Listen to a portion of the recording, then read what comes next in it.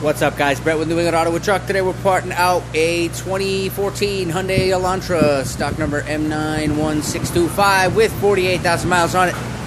Uh, left front door, we're going to part it out so you got a good window glass, good regulator. Uh, regulator come with the motor, lifetime warranty for free. Got a good left door mirror on here. It's power heated, no turn signal, left rear door, very clean, certainly insurance quality, listed with no damage.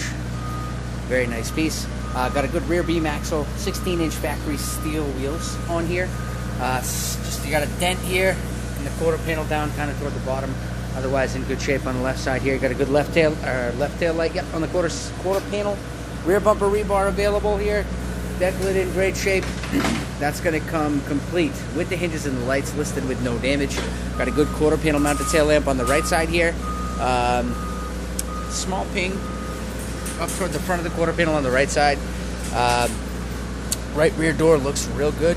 Listed with no damage. Very clean, very clean. Right front door, more the same. Uh, no damage listed on this. Super clean piece. Definitely insurance quality. Got a good right door mirror. Again, it's power heated body color cover. No turn signal. I got no damage listed on the right fender here as well. And I got a good right knee here, complete with control arm spindle and strut. To the inside we go. Trim panels in great shape all the way around, little gray here. Got a good master, windows, locks, um, and mirror. The whole kit and caboodle, auto down for that.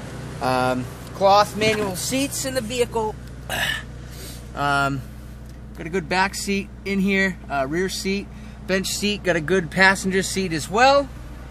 Uh, dash bag still intact over there in the uh, passenger side. You got a good roof bag over there also. Uh, you got a good glove box in this vehicle. Good receiver in here as well as a master for heat and AC with manual control. You got a good shifter in here. Good center console as well. Um, good speedometer, steering wheel, wheel bag still intact. Steering column in good shape here. Uh, the engine does run. Again, 48K on the engine. And honestly, sounds great when you rev it up. I don't even know if you can hear it. It is so loud over here, but you guys know the deal. You got any questions? Give a shout to sales. They'll be more than happy to give you the help you need.